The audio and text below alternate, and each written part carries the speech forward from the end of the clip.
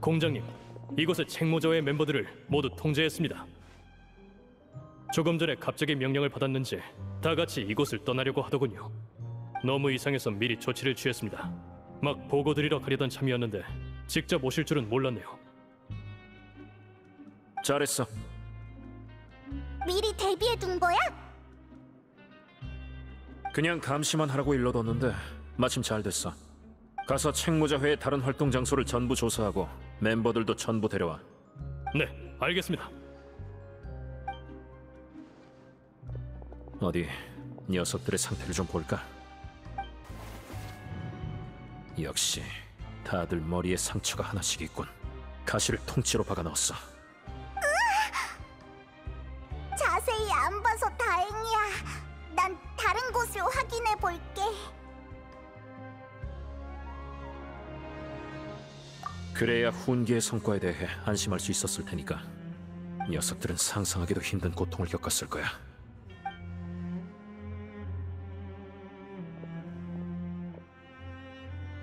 다른 곳도 조사해보자.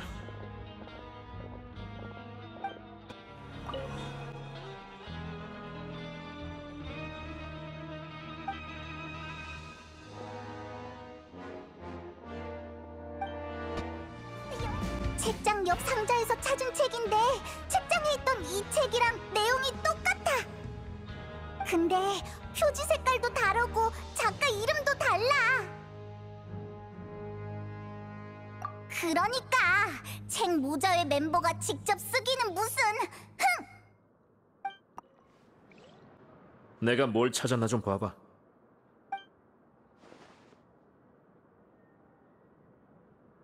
이건 원격 감시 보트야. 멀리서도 이 장치를 통해 휴게실의 모든 상황을 확인할 수 있어. 때문에 두지혜가 자리에 있든 없든 항상 그에게 감시당할 수밖에 없지. 그래. 녀석들은 오히려 각본과 명령이 없을 때 더 혼란스러웠을 거야. 괜히 눈밖에 나는 행동을 하느니 아무것도 안 하는 게 낫다고 여겼을 거고. 그렇게 두 지의 조련이 완료된 거야.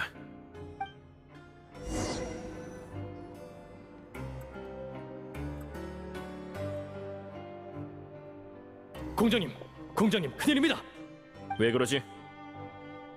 말씀하신 장소엔 아무도 없었습니다.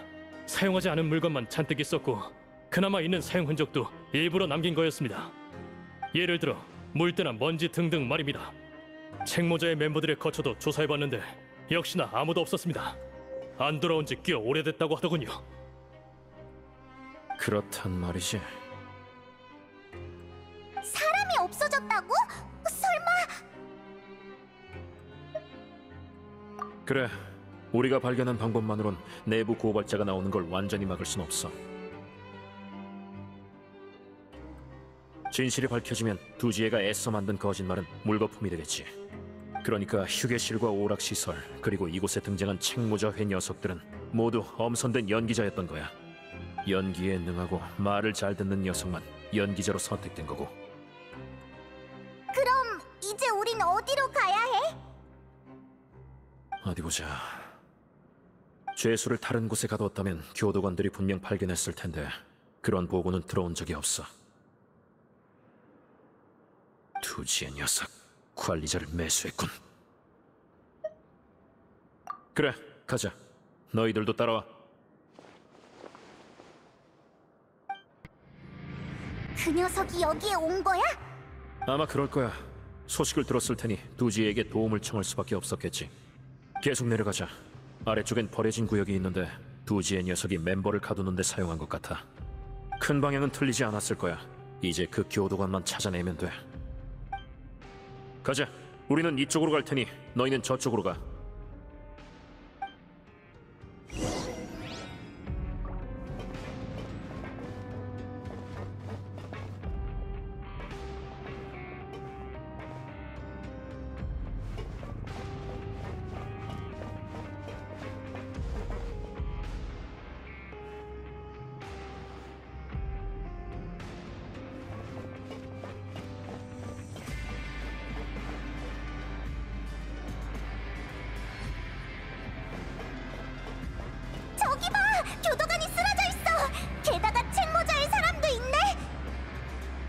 녀석들을 잡아. 라이오스이다! 도망쳐!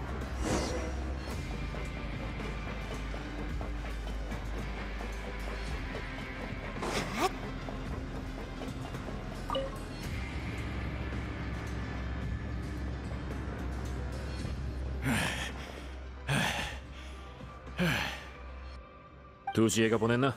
왜 저 교도관을 공격한 거지? 이럴 땐 빨리 불란 말이야. 아직도 상황 파악이 안 돼? 적극적으로 협조한다면 정상 참작해서 너희는 눈 감아줄게. 회장님은 저 녀석이 찾아오면 우리 거점이 드러날까봐 걱정했습니다. 그래서 녀석을 그냥 던져버리려고 했는데 당신들이 쫓아왔죠. 그러니까 거점이 이쪽 방향에 있단 얘기네. 네, 쭉 내려가면 배수관이 하나 보일 텐데 그 안으로 들어가시면 됩니다.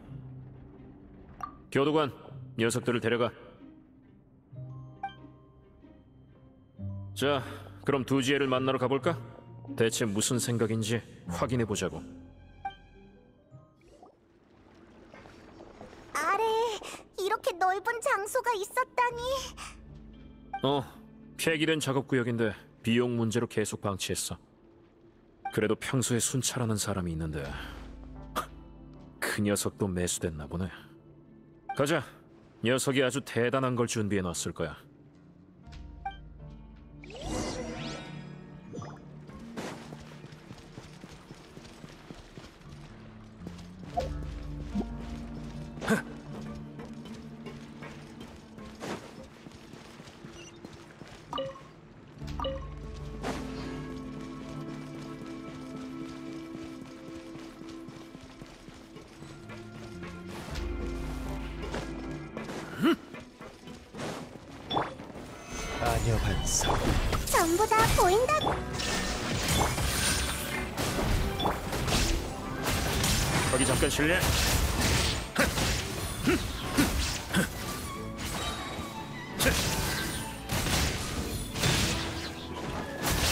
주의 조심해.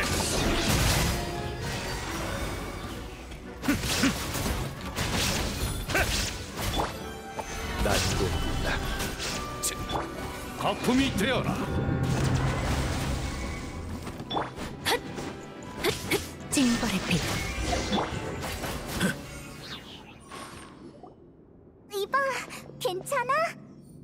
이젠 안전하니까 교도관들과 이곳을 나가 있어. 경비 장치까지 있다니. 그 녀석 진짜 철저하게 준비했네.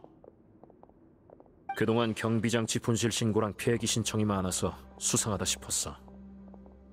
아무래도 녀석은 정면 대결을 염두에 두고 있었던 모양이야. 이건 뭐지? 수첩 같은데? 어디 보자. 책모자 회 규칙이 많이도 적혀 있군. 이게 진짜라 이건가? 멋대로 자리를 떠나거나 서로 대화할 수 없다. 5인 1조를 이루고 규칙을 위반한 사람이 있으면 연대 책임을 진다. 타인의 위반 행위를 고발하면 식량과 물을 보상으로 준다.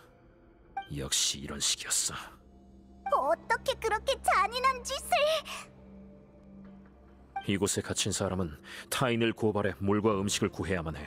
그럼 누군가는 처벌을 받을 수밖에 없어. 다들 실수할까봐 서로 대화하지도 않고 고발 때문에 서로 증오하다가 고립됐겠지. 그렇게 시간이 흐르고 다들 두지의 노예가 되어버린 거야. 기억나? 검은 보석을 만진 페이몬이 상자의 음식에도 경계심이 생겼던 거? 먹을 걸 좋아하는 페이몬도 감정의 영향을 받아 보기 드문 결정을 내렸지. 꼭 나를 예로 들어야 해? 그치만 그럴 땐 신중하게 행동하는 게 정상이잖아. 맞아, 옳은 선택이었어. 하지만 남이 보기엔 감정 때문에 왜곡된 옳은 선택이야. 사람의 마음이란 돛단 배와도 같아. 방향을 통제할 수 있을 것 같지만 풍랑에 휩쓸리면 나락으로 떨어지지. 공포로 풍랑을 일으킨 녀석은 반드시 대가를 치러야 해.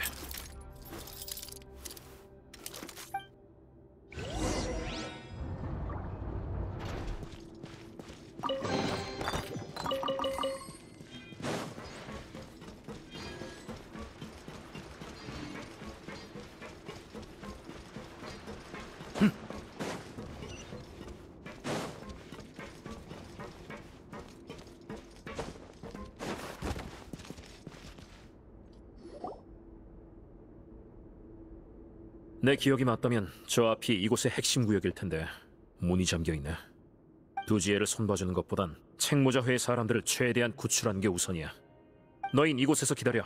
우리가 다른 곳에서 문을 열어볼 테니까.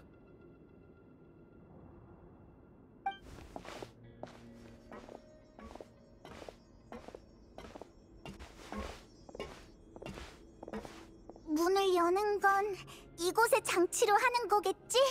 음, 어떻게 하는 건지 모르겠네. 에이, 모르겠다. 일단 아무거나 건드려 보자.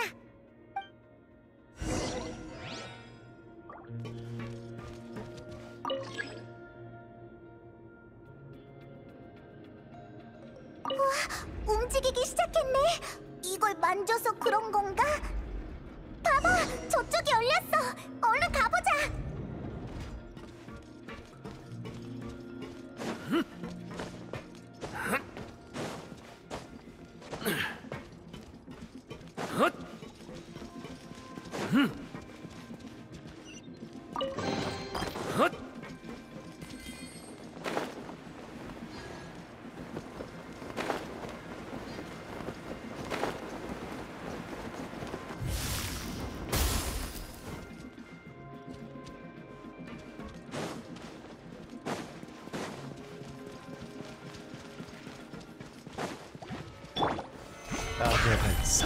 고용 간파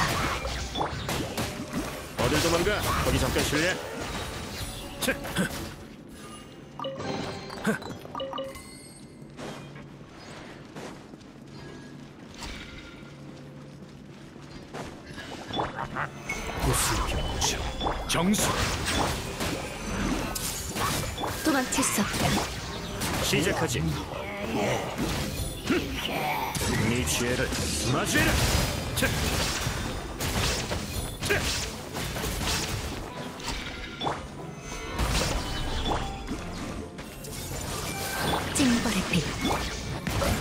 일문이 내가 돌아왔다. 거기 잠깐 실례.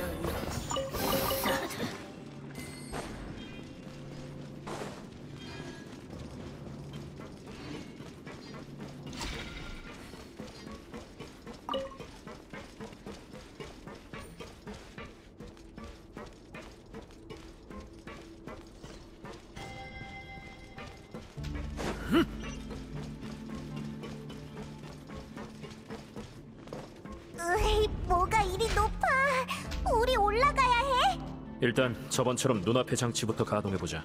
뭔가 바뀔 수도 있으니까.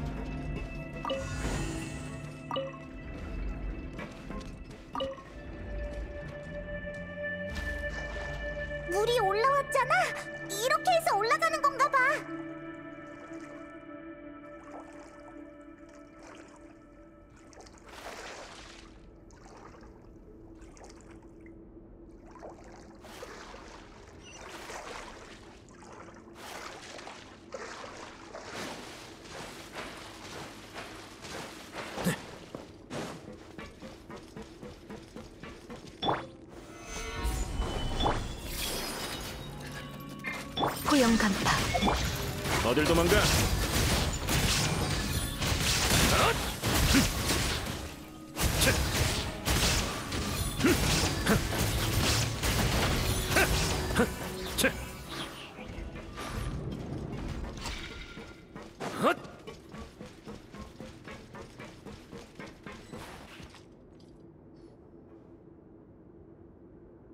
여기가 감옥인 것 같네.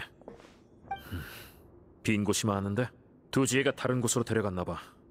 우선 여기 있는 사람들부터 구출하자.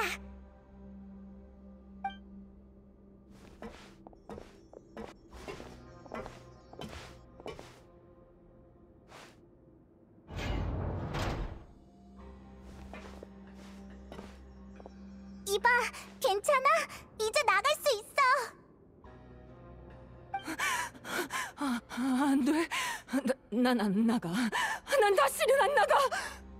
다가오지 마. 귀찮게 굴지 말라고. 진정해. 우린 나쁜 사람이 아니야. 스트레스 반응이 심각한데 지금은 정상적으로 교류할 수 없을 것 같아. 이곳 사람들은 아마 대부분 이런 상황일 거야. 여긴 교도관들에게 맡기고 우린 계속하자. 알겠어. 그럼 일단 출구부터 찾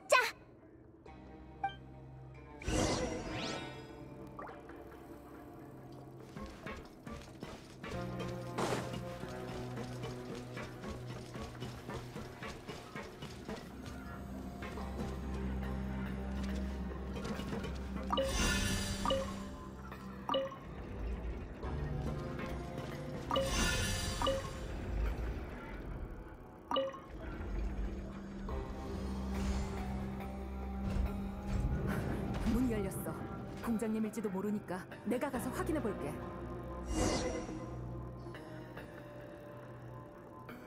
여긴 맡기겠다. 모두를 안전하게 데리고 나가도록. 네, 공장님도 조심하십시오. 저흰 이곳에서 명령을 기다리겠습니다. 그래, 맡은 임무만 잘 수행하면 돼. 나한텐 훌륭한 조력자가 있으니까. 자, 그럼 우린 돌아가 볼까? 홀 안에 있던 장치도 어쩌면 같은 걸로 고정해야 핵심 공간으로 향하는 문을 열 수 있을 것 같아. 그러니까 그걸 잊지 말고 잘 챙겨.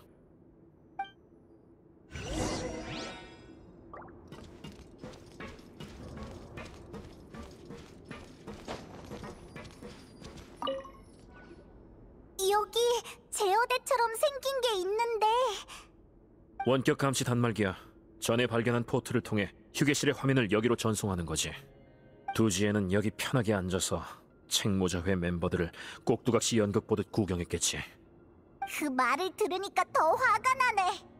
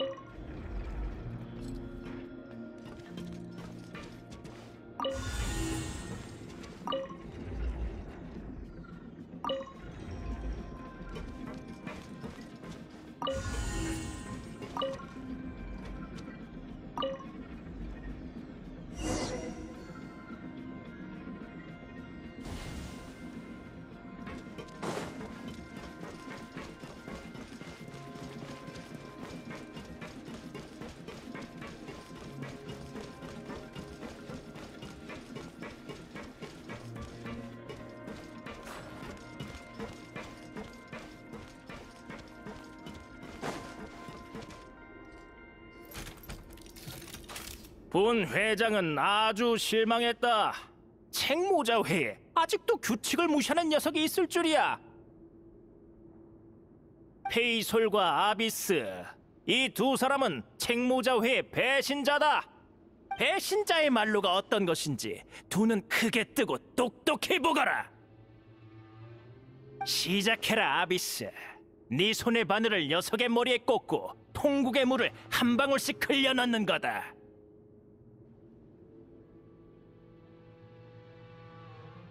한 방울 한 방울씩 모든 물을 다 흘려넣기 전까지 멈추지 마라.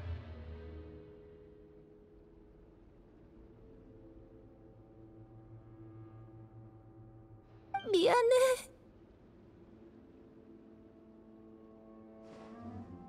괜찮아. 난, 난 버틸 수 있어. 닥쳐라. 누가 말해도 된다고 했지? 내 규칙은 절대적이다. 감히 이 원칙을 깨는 자에겐 엄벌만이 기다릴 뿐. 적당히 해 두지에. 네 오만한 목소리에 구역질이 날 정도라고.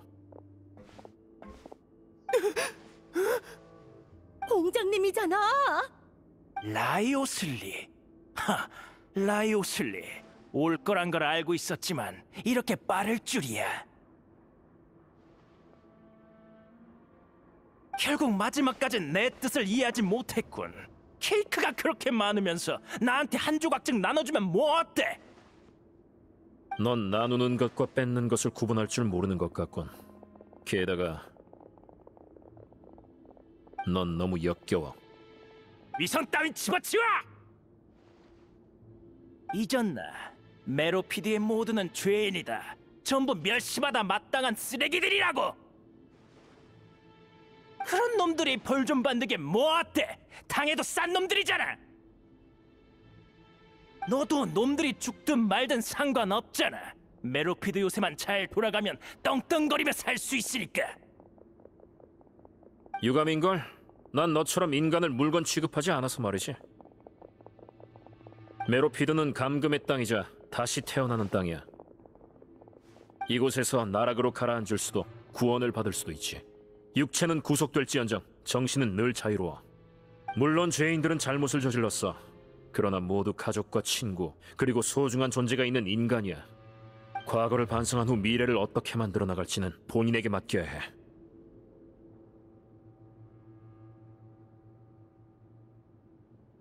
하지만 넌 공포로 그들의 정신을 갉아먹었어.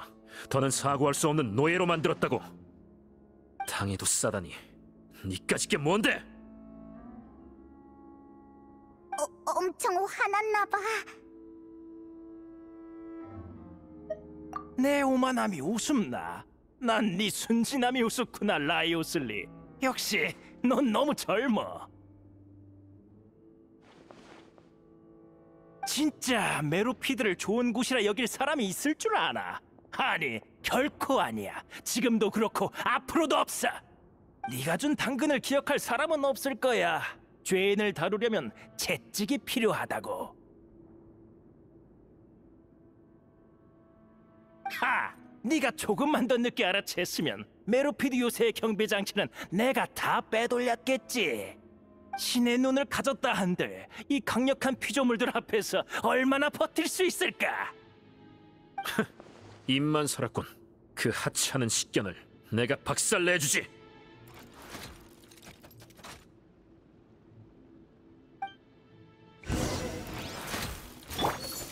아니요 반성. 우리 집에 놀러 와. 징벌의 빛 시작하지. 주의 조심해.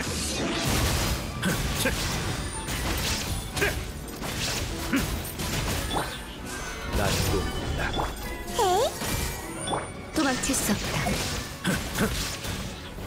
거기 잠깐 실례.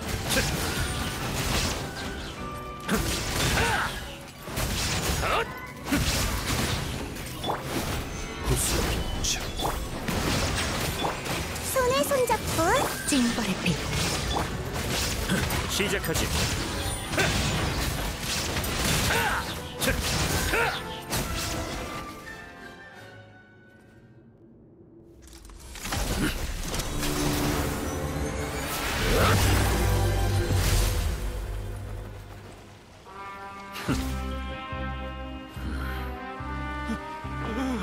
공포로 모든 걸 통치할 수 있다 여겼나? 그럼 어디 나한테도 공포를 심어보시지. 기구만장하기는 너 역시 죄인일 뿐이다.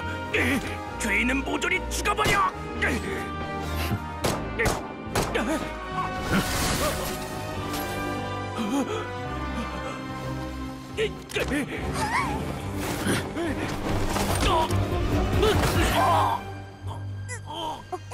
그렇게 내가 무섭나? 총도 못 겨눌 만큼 경- 경고하는데 메로피드 요새에서 사적인 폭력과 밖에는 금지되어 있다. 공작으로서 그 규칙을 어겼으면 아니겠지. 어 그런 게 있었던 것 같네 그럼 오늘부로 그 규칙은 폐지야 메로피드 요새에서 규칙은 그저 너희를 구속하는 도구일 뿐 공작이 너희를 없애는 데는 이유가 필요 없어 알겠나?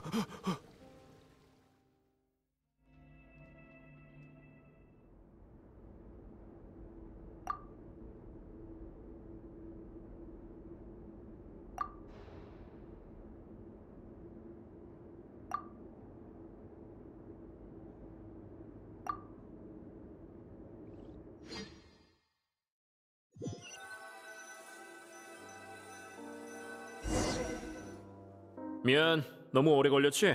기다리느라 지겹진 않았어? 아니야. 네가 이렇게 섬세한 면이 있었다니 놀라운 걸. 정반대야. 섬세하지 않은 난 녀석들이 매일 마주하는 공포를 공감할 수가 없어서 무기력한 걸. 위로든 보상이든 녀석들의 마음속 상처를 완전히 회복시킬 순 없겠지. 그래도 이건 내 책임이자 메로피드 요새의 책임이야.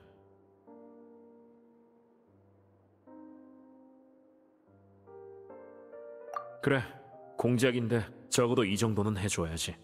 참, 그 나쁜 녀석은 어떻게 처리할 거야? 두지의 말이야? 그건 이미 생각해뒀지. 일단은 아무것도 안 하는 거야. 왜? 매일 어떤 벌을 받게 될지 두려움에 떠는 거야말로 녀석에게 가장 어울리는 벌 아니겠어? 처벌의 형식이든 날짜든 전부 안 가르쳐 줄 거야. 물론 녀석을 봐주겠다는 소리는 아니야. 이런 좋은 실험 대상을 그냥 놔줄 순 없지. 책모자회 녀석들한테 평소 어떤 수단을 썼는지 물어봐서 하나씩 직접 체험하게 해주려고.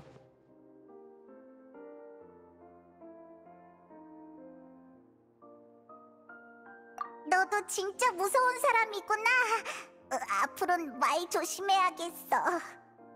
내가 너희한테 그럴 리가 없잖아. 그런 생각을 하다니 섭섭한 걸. 자, 농담은 그만하고 이번에 협력해 줘서 정말 고마웠어. 앞으로 뒷수습할 일이 많이 남았으니 어디 보자. 이렇게 할까? 이틀 후 특별 허가 식당에서 제대로 한턱 쏠게. 그때쯤이면 사건의 결과도 나왔을 거야. 난 싫어. 특별 메뉴는 질렸다고. 걱정 마, 특별 메뉴가 아니니까. 내가 따로 준비할게. 신난다. 그럼 약속한 거다. 요, 왔구나. 식사 약속을 어떻게 잊겠어? 얘가 잊어도 나는 안 잊지. 에이, 그런 뜻이 아니잖아. 라이오슬리는 내가 무슨 뜻으로 말했는지 알지? 글쎄, 난 잘 모르겠는걸. 이봐, 너 진짜? 농담은 이쯤 하자. 좋은 소식이 있어. 의사가 바늘을 머리에서 뽑는 게 어렵진 않을 거래. 한동안 쉬고 나면 회복할 수 있다더라. 대부분 피해자의 정신 상태도 안정적이야. 일부 심각한 사례는 집중 관찰 명단에 넣었지. 믿음직스럽네. 당연하지. 내 구역에서 일어난 일인데 내가 해결해야 하지 않겠어? 말해봐.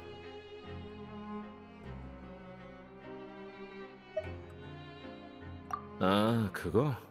그건 말하자면 긴데. 나도 어린 시절 비슷한 경험을 겪었어. 입양된 시절 일이지. 난 고아였거든. 날 입양한 사람은 사랑이 넘치는 부부였고 형제자매도 많았어. 다들 관계도 좋았지. 양부모님은 다 자란 아이를 조건이 더 좋은 가정에 보내고 새로운 고아를 입양하기를 반복했어. 정말 흠잡을 데 없는 부모였지. 줄곧 그렇게 생각했어. 그랬는데 나중에야 알게 됐어. 우린 그저 부모가 길러서 갖다 파는 가축에 불과했다는 사실을 말이야. 팔린 아이는 어떻게 됐는지 아무도 모르고 안 팔린 아이는 처분됐지. 그거 알아? 난 한때 자신이 아주 행복하다고 생각했어. 내 친구, 형제, 자매 모두 그렇게 생각했지. 진실에 다가간 건 내가 처음이 아니었지만 나 말곤 모두 처리됐어. 그들의 결말이 부모의 미소와 겹치면서 떠오르는 장면이 얼마나 아이러니한지.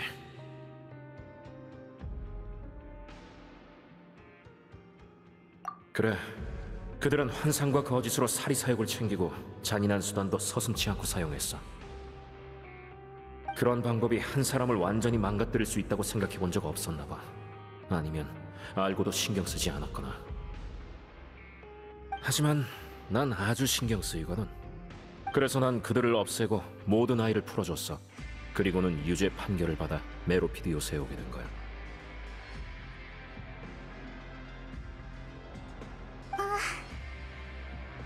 너무 과격한 행동이었지.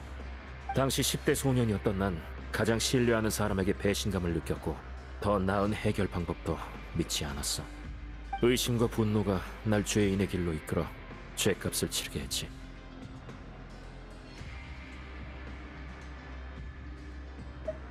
괜찮아. 딱히 날 평가할 필요는 없어. 남이 어떻게 생각하든 난 이대로 살아갈 거니까. 다만 내가 몸담고 있는 이곳에서 과거의 비극을 재현하게 두진 않을 거야. 실례합니다, 여러분. 어, 아비스랑 페이 소리구나. 이제 좀 괜찮아? 네, 제때 와주신 덕에 다치지 않았어요.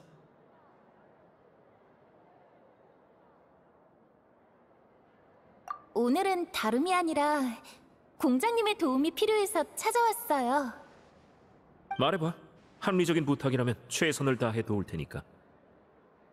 그러니까 전 아비스랑 메로피드 요새에서 결혼식을 올리려고 해요. 두, 둘이 결혼하는 거야? 네, 저흰 책모자회에서 만나 두지의 함정에 빠졌지만 그런 상황에서도 서로를 의심하지 않았어요. 모든 게 두지의 이간질이라고 굳게 믿었죠. 이번 일을 통해 저희는 서로가 평생을 함께할 상대라는 걸 느꼈어요. 불행 중의 행운이라고 할 수 있겠죠. 그 이도 절 버리지 않았고 저도 그 일을 버리지 않았으니까요. 다만 저희는 죄인이라 메로피드 요새에서 결혼식을 열어도 되나 싶어서요. 솔직히 잘 모르겠어요. 너무 무리한 부탁일까요? 음, 내 기억에 메로피드에서 결혼식이 열린 적은 없는데. 그럼 잘 됐군. 안 그래? 준비는 내가 하지. 특별히 필요한 게 있으면 물 위에서 운반해 오고. 정말 감사합니다, 공장님. 사실 저희 둘은 형기가 끝난 후에도 계속 이곳에서 살까 고민 중이에요. 네, 이곳에 워낙 특별한 기억이 많이 있어서 뭔가 애착이 간달까요? 게다가 공장님이 계시니 이곳의 미래도 믿음이 가고요. 너희의 신뢰야말로 최고의 보상이지. 슬기는 남겠다는 사람이 있어서 솔직히 엄청 기쁘지? 그러게 복지용 따위와는 비교가 안 되는걸?